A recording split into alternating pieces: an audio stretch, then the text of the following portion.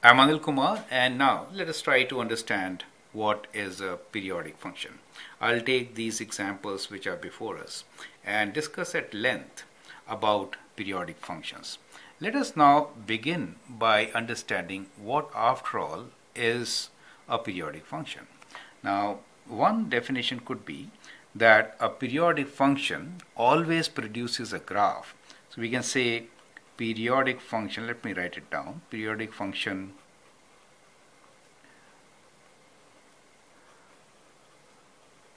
produces a graph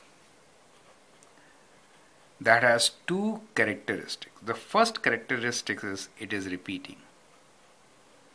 It has a repeating, I should say, cycle, right? And the second characteristic is that it repeats after a constant interval of time, right? So this repetition happens at a constant or consistent interval of time. So it happens at constant interval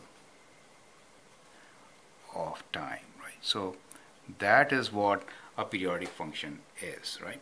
Now remember, a function, a periodic function could be given in any form. You could write an equation, you could write a description, right? You could provide a data, right? So whatever. But the result is that when you graph it, then what you see is something which repeats over a constant interval of time. So these are two major characteristics which define a periodic function, right? So, so not nothing else is so important as these two, correct? What I'm trying to say here is the function could be of any form. Some students get confused when we talk about periodic function. They think only about sinusoidal functions. They think these are not periodic. Well, that is wrong. Anything that repeats, right? So the function could be of any form that repeats regularly at regular intervals of time that is called periodic function, correct? And these are the two characteristics. First one is a repeating cycle. So let us look into this particular function. We could say that we have a cycle which starts from here. So it goes up to this point, comes back. And then it repeats, right? So the one which I've highlighted in red is one cycle. So this, this is one cycle for the first wave, right? And it repeats after a regular interval and that interval seems to be 2 units. So that is 2 units in this case. You see that. So after every 2 units our cycle is repeating for the first example.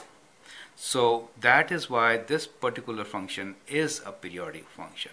Now if you look into the other one you can also point out what is one cycle right you can highlight one cycle you could start from here and end there correct that could be one cycle and also find what is the regular interval right? So this interval is also called period of a cycle right? So that is the time period. Time period. And this repeating cycle when we are saying we are interested in the y values. Do you understand? So we are value y values are important. When we are saying repeating cycle how the value of function is changing with time. And when we say time period, then we are actually interested in the horizontal value. Do you understand? The value of the independent variable, correct? So 2 units is that, that horizontal distance, which could be time or anything. So, so the independent variable is the constant interval we are looking for and the pattern which repeats is called one cycle. So that is what is very important to understand. Now, as a question, I would like you to provide me with examples. Now you read non-periodic functions. So give me examples for non-periodic functions. So you could write equation or description or data, but the best way is to graph it?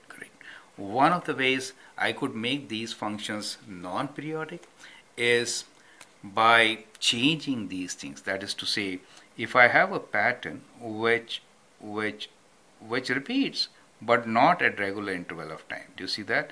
So some things it repeats and maybe like this or if I have a function which is kind of increasing, do you see that? Now it may be repeating after, I mean, changes in the maximum value after regular interval, but the cycle is not repeated since the y values are changing. Do you see? It is not the same cycle that repeats.